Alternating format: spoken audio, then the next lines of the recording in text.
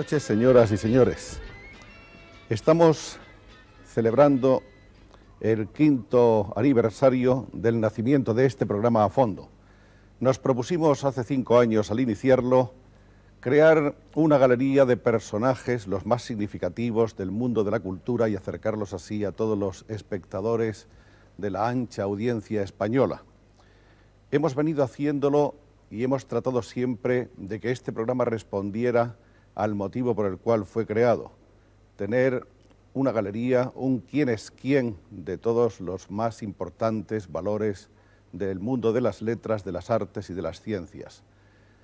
En realidad, en este quinto año hemos seguido con esa misma idea y nos sentimos satisfechos del talante y de la calidad de los personajes que han desfilado ante estas cámaras. Hemos tenido en esta serie de retratos humanos donde al propio tiempo se ha reflejado la vida y la obra de los personajes que por aquí han venido, gentes como Alain Rob Grillet, creador del Nouveau Roman, Ingrid Tulling, una de las más grandes actrices suecas predilectas de Ingmar Bergman, Alberto Lattuada, el calígrafo del cine italiano, Alexander Zinoviev, el escritor soviético de Cumbres Abismales, el aviador español Indalecio Rego, Premio Nobel del Aire. Maruja Maglio, la pintora descubierta por Ortega y Gasset y cantada por Rafael Alberti. El compositor de mil bandas sonoras de éxito, Ennio Morricone. El Premio Nobel de Economía, Basili Leontiev. El escritor y pintor colombiano Héctor Rojas Erazo, a cuya vera se produce la irresistible revelación de Gabriel García Márquez. Pero hubo muchos nombres más, por supuesto, 51 en total, entre ellos Vilayonga, Antonio Baciero, Salvador Paniker, José María Castellet, el profesor Maravall, Pedro Grases, el maestro Moreno Torroba, Alfonso Grosso, Terence Mosch, Alcoriza, Gervaso, Lacutir, Aquilino Duque, Ulises Petit de Murat, Paco Candel y una nueva presencia del siempre deslumbrante Borges en ocasión de recibir el premio Cervantes, el Nobel de las Letras Castellanas. En esta hora de que disponemos, ¿qué personajes, qué fragmentos podríamos ofrecer a ustedes? Siempre difícil hacer esta selección, decidimos consultar a todos los colaboradores del equipo de A Fondo y entre todos han sugerido unos pocos nombres, unas pocas carpetas de entre las 51 del año que son los que, a juicio de todos nosotros, han causado mayor impacto a lo largo de estos 12 meses. Por supuesto que no están todos los que son, pero sí son todos los que están. Entendemos que este es un índice suficiente de la calidad, de la categoría de estos personajes que hemos tenido aquí en este quinto año, personajes de los que por supuesto quedan muchos por el ancho mundo, que en este sexto año que iniciamos trataremos de seguir presentando a ustedes. Celebrar un quinto aniversario es celebrar sobre todo la existencia de un público, de un público fiel, adicto y entusiasta, ese público que componen todos ustedes, queridos amigos desconocidos, a los cuales queremos dar las gracias muy sinceramente por su fidelidad de estos cinco años y por su amistad pero celebrar un quinto aniversario significa también celebrar la comprensión de los directivos de televisión española. Fue Miguel Ángel Toledano quien hace cinco años dio luz verde a este espacio. Sean hoy a los cinco años nuestros homenajes de agradecimiento para él. Bien, estas son las carpetas seleccionadas por todos los miembros del equipo de Afondo como las más importantes de las que desfilaron por aquí en este quinto año de tarea. Richard Nixon, expresidente de los Estados Unidos de América. ¿Cree usted que la actual escalada de tensión en el mundo podría conducir a un nuevo protagonismo de esos cancilleres de hierro? Uh, es muy difícil uh, prever un poco qué es lo que va a pasar, ¿no? Hay uh, sistemas ahora con elecciones en muchísimas partes del mundo. Pero, en fin, hablando en general, con un punto de vista histórico, los hombres producen los hombres y no al contrario. Por ejemplo, estamos diciendo que los grandes presidentes americanos normalmente han sido presidentes en tiempo de guerra. A lo mejor, si no hubiera habido guerra, no hubieran tenido este reto, no hubieran sido tan fuertes. Esto esto no significa que tengamos que pagar el precio de la guerra para tener grandes líderes, pero en fin, ya nos dice algo con respecto a cómo se desarrollan los hombres, cómo va andando el mundo, cómo salen hombres grandes. Yo creo que en el momento actual el reto es enorme para todos. Yo creo que es más grande todavía que si hubiera una guerra, porque precisa una sutilidad una fuerza también, pero las dos cosas juntas. Eh, y también la capacidad de saber eh, utilizar esa fuerza sin ir a la guerra con ella. Y entonces los estadistas tienen que ser fuertes, pero muy sutiles también. Esto precisa, y no solo en Estados Unidos, ¿eh? yo cuando hablo de estas cosas realmente hablo de todo el mundo. Necesitan uh, los países líderes fuertes, cuidadosos, y con esa fuerza viene la responsabilidad también. Pero lo que hace falta es desarrollar este liderazgo esta capacidad en Occidente, repito, algo que sea fuerte, firme, tanto como el liderazgo del Este, por supuesto. A menudo se dice hoy día Hay gente que lo dice, ¿no? En fin, que no tenemos que tener miedo de los rusos, que tienen una fuerza militar, pero que Brezhnev es muy mayor, por supuesto que sí, y que ha estado enfermo. Kosygin también es muy mayor, todo eso es cierto, por supuesto que sí. Pero en fin, yo conozco a estos hombres, a estos líderes personalmente, tienen setenta y tantos años, pero aunque son mayores, son líderes y son muy fuertes todavía. Yo no quiero que queramos los líderes occidentales que sean comunistas y que lleven ese estilo de mando, por supuesto supuesto que no. Pero yo quiero que nuestros líderes occidentales sean tan fuertes, tan firmes, tan dedicados como para conservar la libertad. Lo mismo que son los rusos para destruirlas. Eso necesitamos nosotros. Madre Teresa de Calcuta, Premio Nobel de la Paz 1979. Usted parece reconocer a Cristo de una manera especial bajo el, aspecto, el rostro de los pobres, de los eh, desdichados, de los alcohólicos, de los drogadictos. ¿No cree usted que puede haber pobres, malos y fingidos y enfermos que lo están también por su culpa o son igualmente dignos del amor que usted les profesa?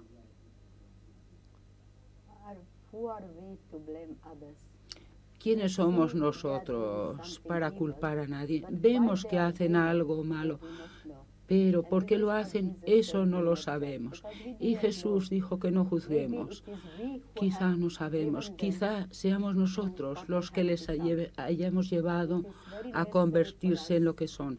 Y es muy necesario para nosotros darnos cuenta de que son nuestros hermanos. Ese leproso, ese eh, borracho, ese enfermo, esa persona eh, destituida son nuestros hermanos y nuestras hermanas, porque también han sido creados para un amor mayor y para una santidad mayor, y por lo tanto no debemos nunca olvidarnos de eso. Y por eso Jesucristo se ha identificado con ellos y dijo, lo que le hayáis ellos, al más pequeño de mis hermanos lo hacéis por mí. Así que ese leproso, ese ladrón, ese alcohólico es mi hermano, es mi hermana. Y quizá, quizá, porque no les hemos dado ese amor, porque no les hemos dado ese amor comprensivo, quizá es por lo que se encuentran en las calles sin amor, sin cuidados. Y creo que si nos pudiéramos apercibir de que la pobreza no es solamente hambre de pan, sino un hambre tremendo de que se reconozca la dignidad humana, ese hambre de amor, ese hambre de ser algo para alguien. Ahí es donde cometemos nuestros errores y dejamos de lado a, las gentes. Y no solamente hemos privado a los pobres de un pedazo de pan, sino que les hemos deprivado de esa dignidad humana que les corresponde como hijos de Dios, pensando que no valen para nada y diciendo que son alcohólicos y drogadictos, que son gente de la calle, pero son mi hermano, mi hermana, y mientras están allí, ¿quién? ¿Por qué no estoy yo ahí? Eso podría ser una enorme pregunta. Usted yo podíamos estar en ese mismo sitio que ellos, de no haber recibido el amor y el cariño que nos han dado. Nunca olvidaré un alcohólico. Y cuando me contó su historia, vi que para olvidar el no ser amado, el no ser querido, se dedicó al alcohol. Así que yo creo que nosotros debemos de examinar nuestras conciencias antes de juzgar a los pobres, sean pobres de espíritu o sean pobres de cuestiones materiales. Christian Barnard, doctor en medicina, pionero de los trasplantes de corazón, creador ahora de la nueva técnica del piggyback. En el 74 realiza usted la primera operación de doble trasplante, que es otra de sus técnicas, la técnica más moderna, que consiste en unir un segundo corazón al del paciente para que lo complemente. Yo quisiera que usted me hable ahora de esa técnica. Esa es la que llaman el piggyback. ¿O cómo le llaman? Eh, bueno, como dije en el último programa, pensamos que cuando un paciente muere a causa de un problema cardíaco muy serio, porque el músculo está destruido, se pueden hacer dos cosas. O bien sacar ese corazón y sustituirlo por otro, o bien podemos conectar un segundo corazón de tal forma que ayude al corazón ese viejo que está en peor estado. Es una especie de caballo que sube una colina y entonces si se nos cansa el caballo, pues entonces tenemos un corazón cansado. Podemos usar otro caballo, por ejemplo, esa sería la primera operación que yo hice, o podemos dejar el caballo cansado para que haga algo todavía lo que pueda y poner otro caballo más fresco que le ayude. Esa es la segunda operación. En esta operación no quitamos el corazón del paciente, lo dejamos allí, in situ, para que haga lo que pueda todavía. Y en el tórax derecho, cerca de su propio corazón, conectamos el corazón del donante, de forma que no sustituya la función del corazón del paciente, sino que le ayude, que le asista en la circulación. Podemos ver la ventaja de esta operación, porque si algo va mal eh, con el nuevo corazón, el antiguo corazón todavía está allí y puede hacer que siga la vida del paciente. Uh, Esta idea me vino a mí a la mente cuando yo estaba interviniendo a un muy buen amigo de mi hijo, que ahora es un médico, y desgraciadamente falleció durante la operación en el mismo quirófano. Mi hijo estaba fuera y había oído hablar del problema que yo tuve y tuve que sacar el corazón de aquel paciente y poner otro que le sustituyera. Y cuando yo salí del quirófano, mi amigo, mi hijo estaba allí y estaba uh, sufriendo mucho porque amaba mucho a su amigo y me dijo, pero papá, ¿qué es lo que fue mal en la operación. ¿Qué pasó? Y yo le dije, bueno, es que el nuevo corazón no pudo hacerse cargo de la circulación. Y mi hijo me dijo, pero bueno, ¿por qué, ¿por qué no le pusiste su corazón viejo, no? Por lo menos para mantenerle vivo. Y claro, con aquel comentario de mi hijo, con toda la tensión y tal, pues yo pensé en esta nueva técnica, que no quito el corazón antiguo para que todavía el paciente siga vivo. Le pongo este otro para que le ayude. Y esta operación de piggyback, yo creo que se la hubiera hecho en el corazón de este amigo de mi hijo, no se hubiera muerto. Después de, descubrir esa, esa nueva vía, ¿cuántos trasplantes de ese tipo ha realizado? Como 30 uh, pacientes con esta operación de piggyback, de este segundo corazón, y en un paciente tuve que operarle dos veces porque dejó de funcionarle el corazón, el corazón que había yo trasplantado fue rechazado, entonces no esperé a que viniera otro donante porque él vivía por su corazón viejo, entonces quité el corazón rechazado, le puse otro nuevo, o sea, 31, 30 pacientes. 30 pacientes. ¿Y los resultados hasta ahora cómo fueron? Bueno, los resultados pienso que han sido bastante alentadores, porque de estos 30 eh, pacientes todavía 16 están vivos. Uh, El 65% de esos pacientes han vivido más de un año después del trasplante. Y es muy interesante con respecto a la operación que si se hubieran sometido a un trasplante y con éxito, el 90% de estos pacientes casi pueden volver a una vida totalmente normal. Es decir, la calidad de su vida mejora muchísimo con este trasplante de corazón. Yo tengo un caso muy interesante en mi haber, llevé a cabo un doble trasplante en él. Y como el segundo corazón dio a su propio corazón tiempo de recuperarse, pues ese corazón se recuperó totalmente. Y tres meses después pude quitar el corazón trasplantado. Y este hombre está viviendo una vida normal hace ya más de tres años después de aquella intervención. Y esto muestra que con la antigua operación que hacíamos eh, que quitábamos el corazón, pues a veces un corazón se puede recuperar, pero no tiene tiempo porque el paciente fallece antes de que haya podido tener tiempo de recuperarse. Y con la segunda operación ampliamos la vida para que ese corazón viejo se recupere. O sea, el corazón realmente es el único órgano del cuerpo que nunca puede parar, nunca puede descansar, nada, esté bien o esté mal, esté operado, tiene que trabajar ya, porque si no el paciente muere. Esta operación, esta segunda, esto de dar otro corazón al paciente, el piggyback, es el único método que tenemos hoy con el que puede descansar el corazón durante un cierto tiempo. El director cinematográfico Roman Polanski. Usted ha dicho alguna vez que ha sido siempre un actor muy bueno. ¿Está convencido?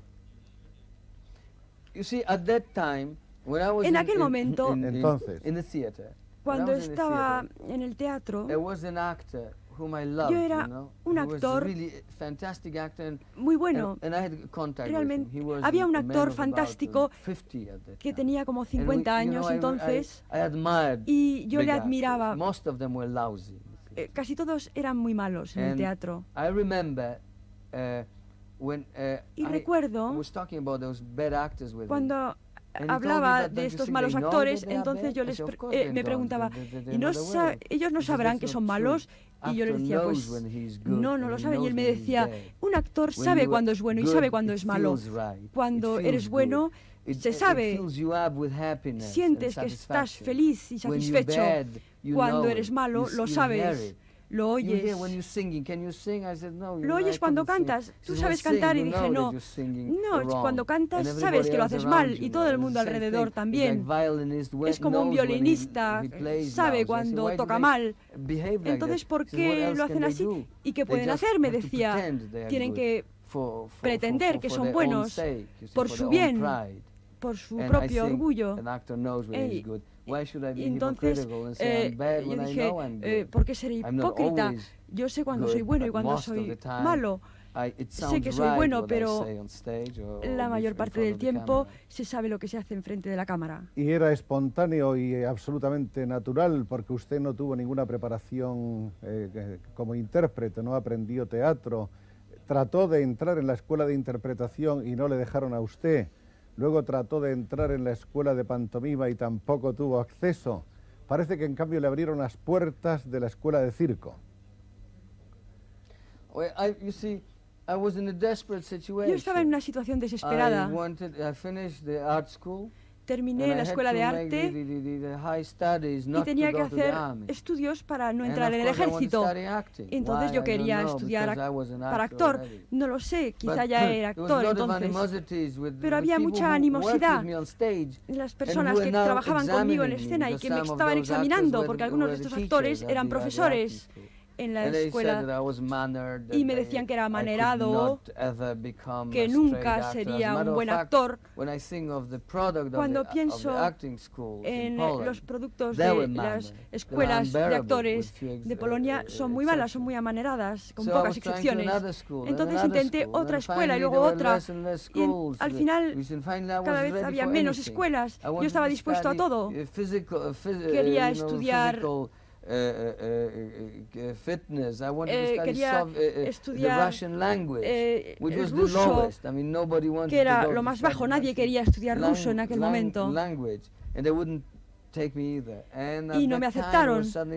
Y entonces había una escuela de circo que me abrieron las puertas. I uh, uh. Fui a la escuela de circo y entonces me di cuenta uh, de que entonces mm, tenía que ir al ejército de todas formas. Entonces me escapé y me escondí durante un año más o menos y dormía en las estaciones en sitios raros sin que nadie supiera cuál era mi problema. Y un año más tarde, cuando hubo exámenes de nuevo, ya estaba desesperado y quería escaparme de Polonia, pero era muy peligroso.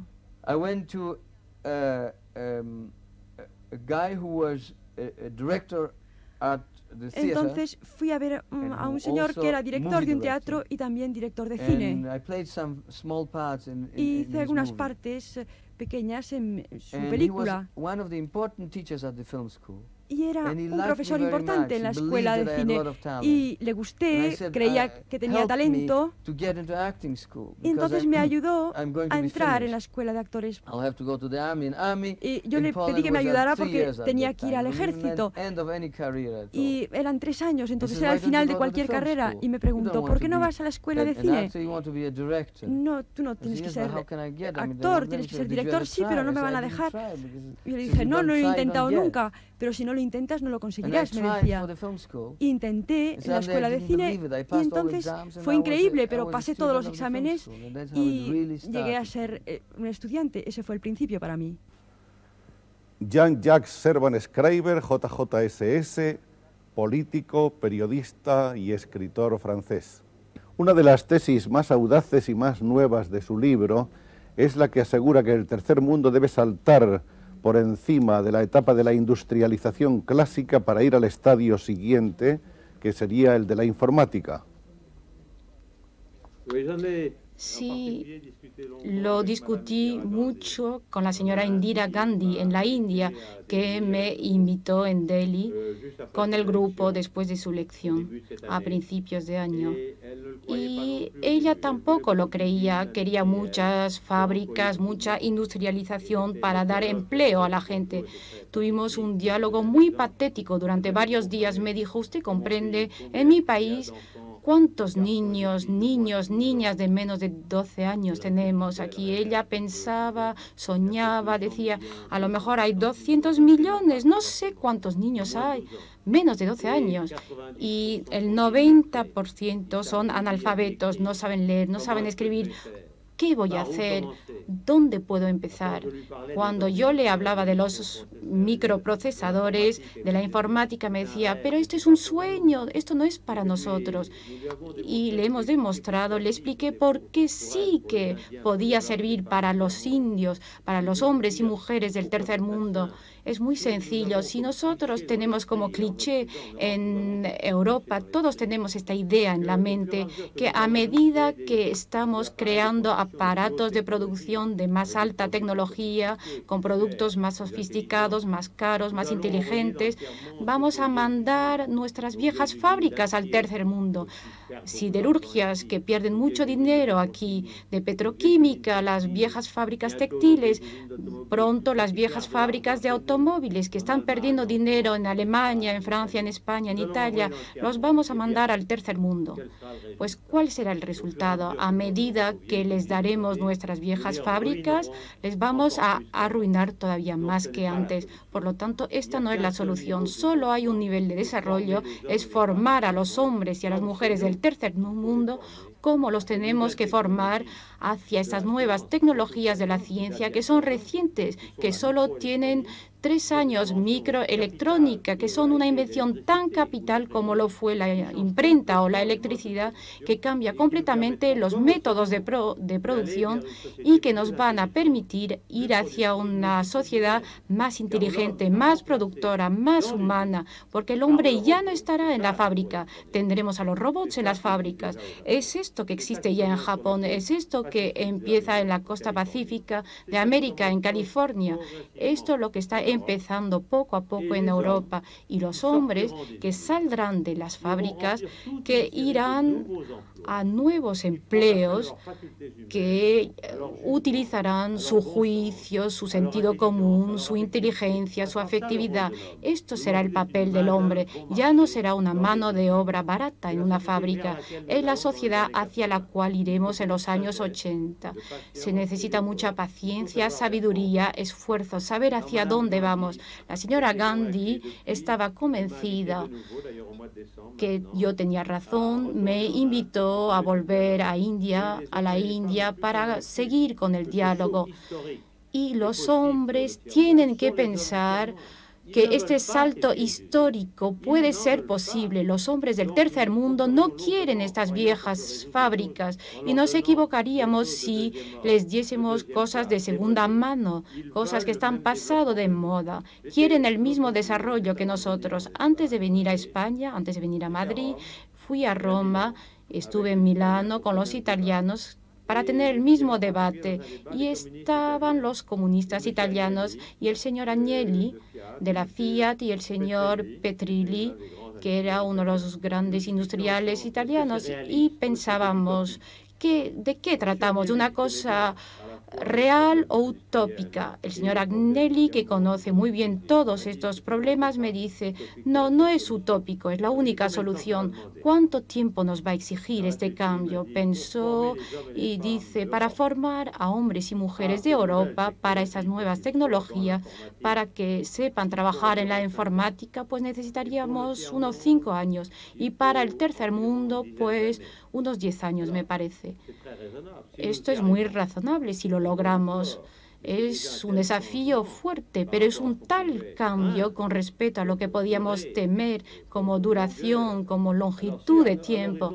Entonces, si estos cinco años van a ser muy difíciles porque será un cambio de muchas cosas. Hay que formar a hombres. Estos cinco años de esfuerzos podremos ver al cabo de estos cinco años que tendremos una nueva sociedad, una nueva civilización mucho más interesante, humana, descentralizada que la que estamos conociendo con las grandes ciudades, grandes fábricas que están completamente deshumanizadas. Y para el tercer mundo, 10, 15 años también es un horizonte aceptable y la señora Gandhi lo acepta. Si usted cree que es posible, pues hagamos este esfuerzo. Entonces, empezamos a emprender esta estrategia de desarrollo.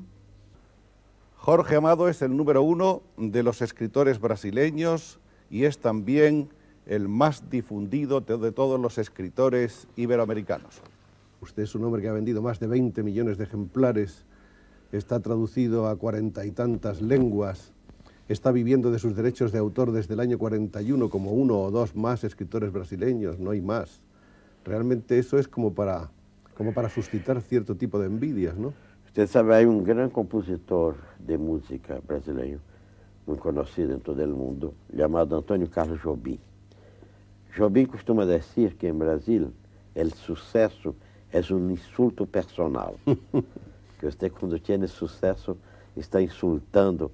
Esto lo dijo a propósito de un muchacho muy joven, un joven cineasta, Bruno Barreto, que hizo una película eh, de un libro mío, de Dona Flor y sus dos maridos. Doña Flor y sus dos maridos. Sí, sí. Este, tiene aquí, este en español y ahí en portugués.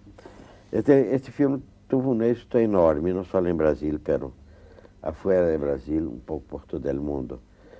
Y, y este era cuando lo hizo en un niño de 21 años, el chico que lo hizo, 20 años, 21.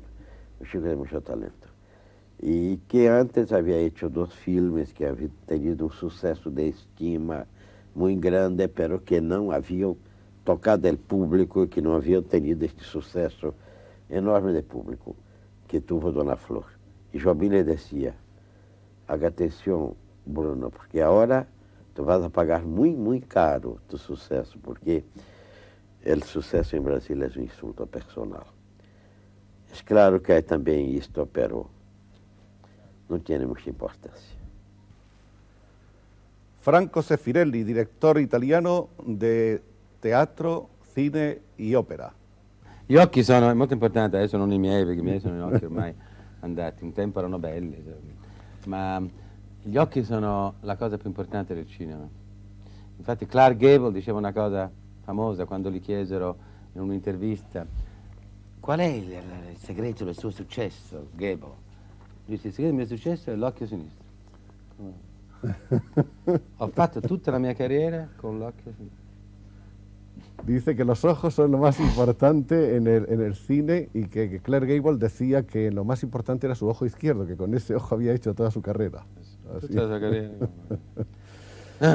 Ma in realtà, per esempio, la ragazza eh, Olivia Hasse che fece Romeo e Giulietta, Giulietta con me, mm -hmm. Vinse il concorso proprio perché aveva questi occhi incredibili. Ganó el concurso para Giulietta porque tiene esos ojos increíbles. Il cinema che fece gli occhi, quando, lei, quando io parlo con lei, la guardano gli occhi, non è che le guardo la bocca, il naso, claro, gli orecchi, claro. Guardano gli occhi. No? Gli occhi sono veramente il mezzo di comunicazione dello spirito, del carattere. Le persone si guardano negli occhi, infatti mhm. -huh. se qualcuno quando lo guardi negli occhi devia, non ti guarda negli occhi, eh, dici questa non è una persona che mi va.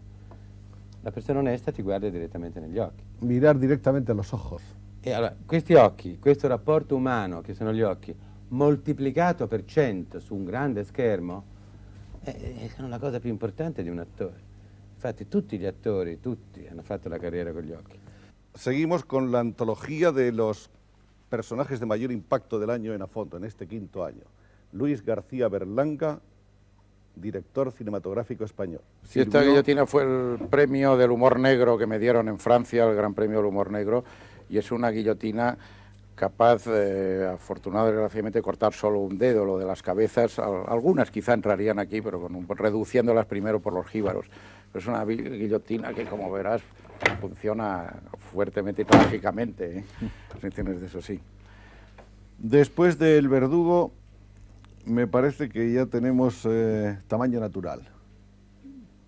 Yo no me acuerdo, yo, no te acuerdas. tú tienes mejores datos, eh, me vas haciendo no, pero mis datos pueden estar biografía, os informáis muy bien. Aquí tenemos algunas de las, de las cabezas que en cierto modo eh, intervinieron en la, en la realización del personaje femenino de, de, tamaño natural, Grandeur Nature o Life Size, así se llamó en, este espolio que me, que me, han hecho tu gente en mi casa, afortunadamente no han descubierto, porque la tengo como Drácula en un sarcófago, la muñeca entera, que está deshecha, pero afortunadamente no la han descubierto.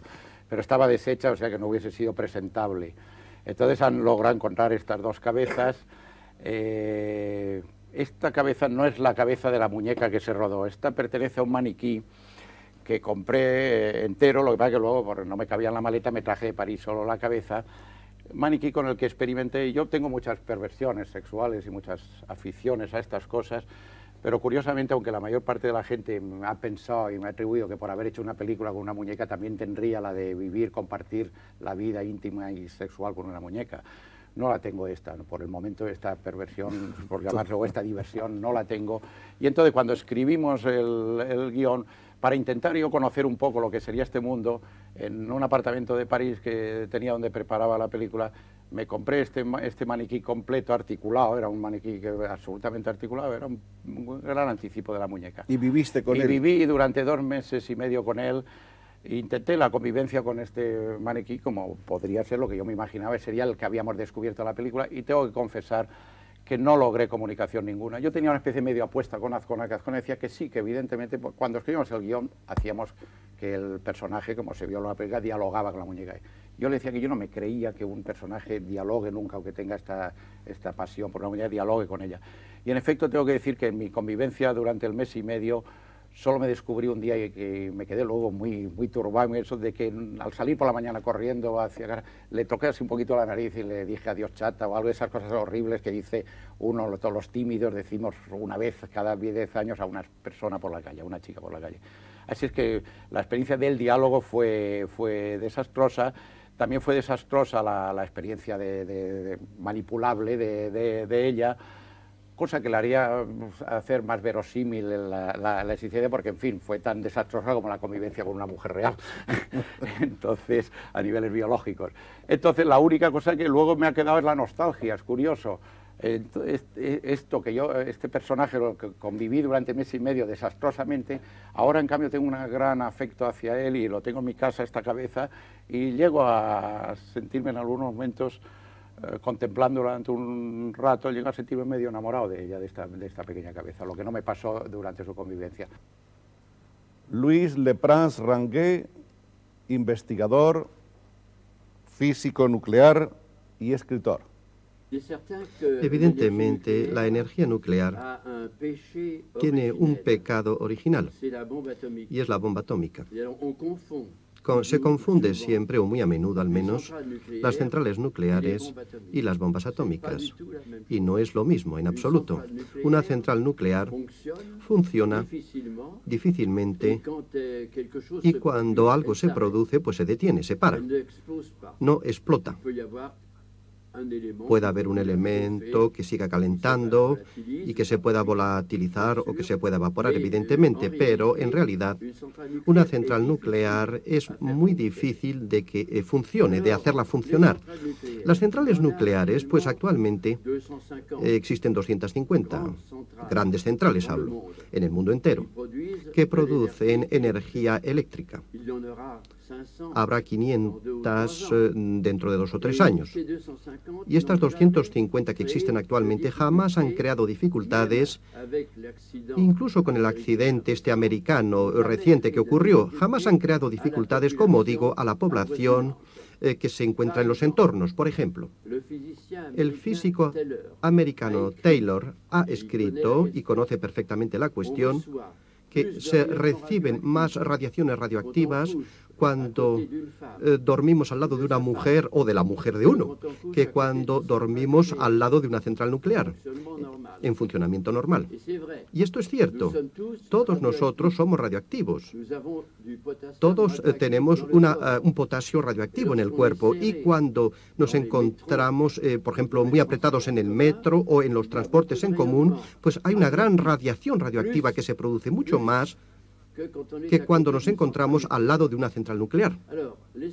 Las centrales nucleares, afortunadamente, digo bien afortunadamente, que tenemos actualmente centrales nucleares, porque si, nos, eh, si se nos corta el petróleo, si los ayatolá o los soviéticos eh, cortan la vía del petróleo para Europa, nos encontraremos sin energía, casi sin energía la mitad de nuestra energía va a desaparecer y nos veremos en la obligación, afortunadamente entonces, de tener que recurrir a las centrales eh, nucleares. En Francia existen ya, cada vez más están existiendo en Francia, en España también, existen riesgos, existen peligros, evidentemente, pero también existen peligros con los grandes embalses hidráulicos que han ocasionado muchas víctimas. Existen muchos peligros con las minas de carbón que han, eh, que han producido muchos enfermos por silicosis y eh, explosiones también que se han producido en las minas. Existen peligros en todos los ámbitos, siempre con una tecnología moderna. Pero los peligros eh, están muy controlados en la energía nuclear, debo decir. Segundo, las bombas atómicas ahora. Pues las bombas atómicas es algo totalmente distinto. Las bombas atómicas son extraordinariamente peligrosas. Hay que decir con el Papa que lo dijo con motivo del primero de enero y lo ha dicho porque nosotros le habíamos dado informes al respecto, nosotros los miembros de la Academia Pontifical de las Ciencias, pues pontificia de las ciencias, pues es evidente que una bomba atómica H, una bomba H de hidrógeno, es suficiente para suprimir toda vida en un cuadrado de 100 kilómetros de lado. Por lo tanto, es sumamente dramático, como ven ustedes, y hay que evitar a todo precio una guerra nuclear. Hay que militar para el desarme nuclear, pero no para la detención de la construcción de centrales nucleares. Podemos fabricar bombas atómicas sin centrales nucleares. No está vinculado en absoluto. Fernando Fernán Gómez, actor y director español. Tú naciste en Buenos Aires, en, sí, Buenos, Aires. el día 28 de agosto de 1921. ¿Sigue siendo argentino? Sí, sigo siendo argentino, aunque mi nacimiento fue eh, por accidente, porque fue en un viaje, y creo que, que tampoco está muy claro si nací exactamente en Buenos Aires o si nací en otra, en otra ciudad durante la tournée y en Buenos Aires es donde me registraron.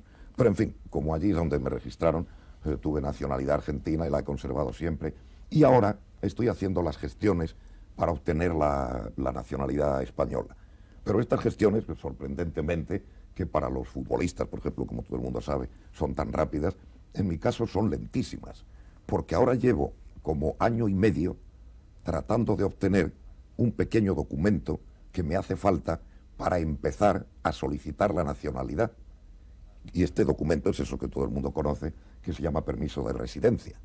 Entonces yo ahora, al cabo de todos estos cincuenta y tantos años residiendo... De residir en Madrid. Sí, como, como no, pero esto en realidad es culpa mía porque siempre he sido muy desordenado para esto de los papeles y de la documentación. Le tengo una cierta aversión. Pero en fin, últimamente al decidir ponerme en regla y solicitar la nacionalidad española, pues claro, me dijeron lo primero que tiene que conseguir es este permiso de residencia. Digo, bueno, esto es muy fácil, lo solicité, pero llevo año y medio de ventanilla en ventanilla. De cualquier manera, ¿no hay un convenio de doble nacionalidad España-Argentina? Bien, pero aunque hubiera, no estoy muy enterado, pero aunque hubiera este convenio, como yo no tengo más que la nacionalidad argentina, para tener las dos tendría que obtener esta. Has dicho que has estado siempre muy unido, muy cerca de los poetas, de los escritores, de los dramaturgos, que te inclinó hacia ello algo que había dentro de ti. Llegaste incluso a crear, a instituir como mecenas un premio literario. Ah, sí, es verdad. El premio Café Gijón, que sufragabas con tu propio dinero ganado duramente en el escenario. Pero eso, eso sí que era verdaderamente ridículo por su modestia, porque este premio, lo que, lo que, yo, como dices, lo sufragaba, en plan de mecenas, con lo que lo sufragaba era con la cantidad de 1.500 pesetas. 1.500 pesetas y la edición del libro, que también en aquellos tiempos era muy económica y que además no era más que una novela corta. En realidad, eso nació porque, por una cosa puramente de juego, porque en la tertulia aquella del, Café Gijón. nos llegaban las noticias entonces del premio Nadal y nos daba envidia eh, sobre todo la tensión del premio, lo de las votaciones, la repercusión que tenía en la prensa. Y entonces por eso es por lo que nosotros instituimos modestamente este otro, este otro premio, pero que lo que no tenía, lógicamente, era quien lo sufragase. Y como yo en aquella época había empezado ya en el cine a desenvolverme un poco mejor, y hacer papeles de protagonista, pues me creía con capacidad de mecenas a este nivel modestísimo.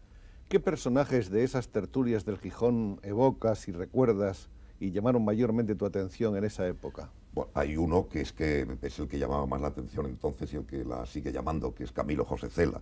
Aquella tertulia iba Cela, y claro, Cela siempre ha sido un hombre que producía un gran, un gran impacto. Y luego, pues casi todos los que había, en fin, era todos estos que ahora están ocupando ya puestos importantes estaba el poeta José García Nieto, que en verdad era alrededor del que se centraba eh, la tertulia. La juventud creadora. La juventud creadora, porque es el que, el que fundó la revista Garcilaso y luego a Canto y luego Poesía Española. También recuerdo mucho a Ruiz Iriarte, que por aquella época empezó a escribir sus primeras comedias y en el que seguimos conservando una gran amistad después de mucho tiempo. También el, periodista Suárez Caso, que fundó la Gaceta Ilustrada. Este también fue muy amigo mío y por unas razones eh, especiales, porque fuimos colaboradores en guiones de cine, en tres o cuatro guiones. Recuerdo que hicimos, por ejemplo, la adaptación del Malvado Carabel de Fernández Flores.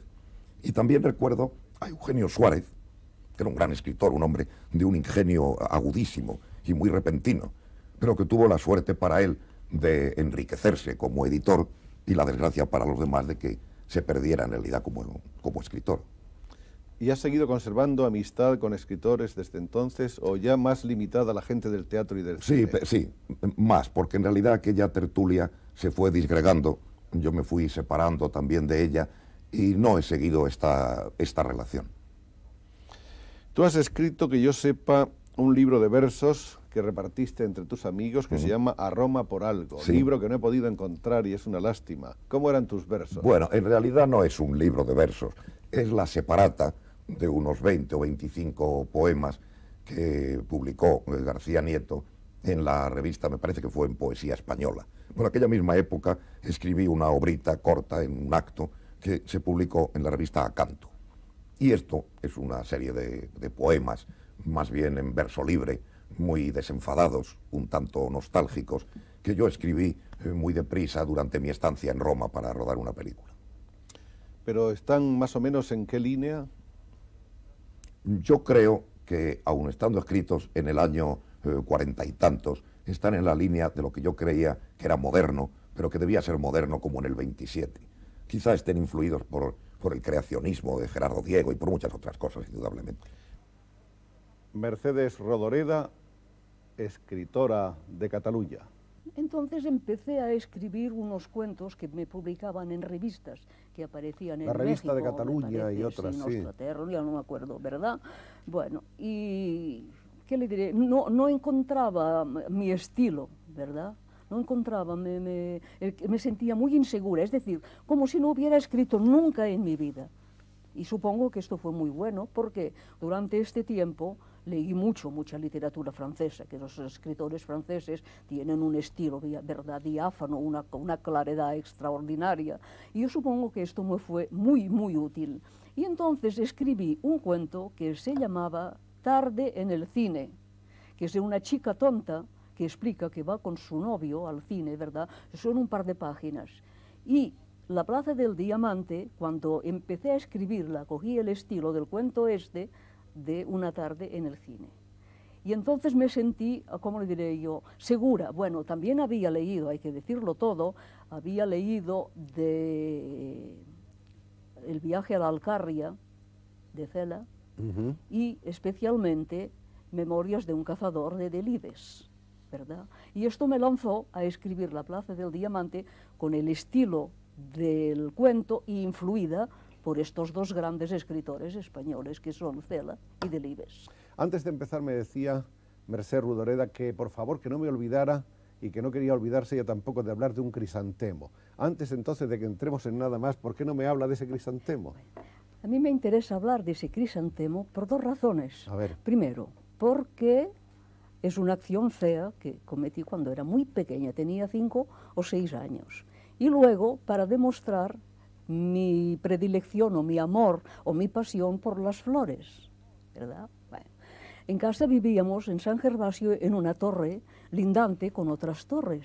Y yo siempre estaba en casa de los vecinos a mirar las flores de los jardines, porque las del mío ya las conocía, ya sabía cómo eran. Y un día fui a casa de la señora Borrás. Tenían un jardín inmenso, lleno de violetas, al tiempo de las violetas, y me quedé asombradísima porque no había visto nunca en su casa un crisantemo, pero era un crisantemo amarillo y rizado, de una maravilla. Y así que lo vi, pensé que me lo llevaría, ¿verdad? Que robaría el crisantemo. Pero claro, la ventana de la cocina y la galería de la señora Borrás daba de cara al jardín y yo tenía miedo que ella me viera y que no pudiera llevarme el crisantemo, Y al fin, al cabo de mucho rodar alrededor del crisantemo y darle vueltas y pensar si lo haría o si no lo haría, lo corté y me lo escondí dentro del delantal. Entonces me fui, dije a la señora Borrás, me voy. Y la señora Borrás, que no lo hacía otras veces, me siguió, atravesó el comedor y me siguió por el pasillo y al abrir la puerta de salir a la calle me dijo simplemente, dice, si me lo hubieras pedido, te lo hubiera dado. Y esto me ha dejado, cuando veo crisantemos, o cuando pienso en crisantemos, me ha dejado toda la vida una especie de resquemor, ¿verdad? Yo no sé lo que hice con el crisantemo, si lo tiré, si lo escondí, si lo enterré, ¿verdad? pero la historia del crisantemo es esta, que robé una flor. El complejo del crisantemo. El complejo del crisantemo. Otto Preminger, maestro del cine. Realmente diríamos que la verdadera historia de Preminger empieza el 44 con Laura, que había empezado a rodar Robert Mamoulian, de manera que ahí le pasó a Mamoulian lo mismo que le había pasado a usted con Kidnapped, que... Mamoulian. Mamoulian, eso es Mamoulian. Yeah, he started it twice. Sí, él empezó, la empezó dos veces. He, I had at this time, I was not on very good terms with Mr. Zanuck. Yo no me encontraba en muy buenas relaciones con el señor Zanuck, que era el jefe del estudio, uh, y él había dicho que él, yo no dirigiría mientras él se encontrase allí. Entonces, él firmó el contrato con el señor Mamoulian para que lo filmase la película y después de empezarla él, el señor Zanuck no se encontraba en Hollywood, sino en Nueva York, y su ayudante le envió la película porque su ayudante ayudante pensaba que lo que había hecho Mamoulian no era bueno.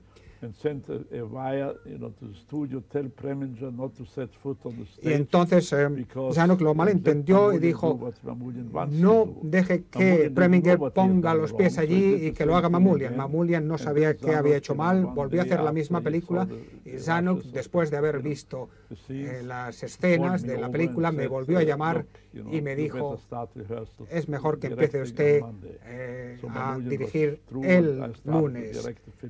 Y yo empecé nuevamente a dirigir la película desde el principio, que es la razón por la que yo por último tuve este gran éxito.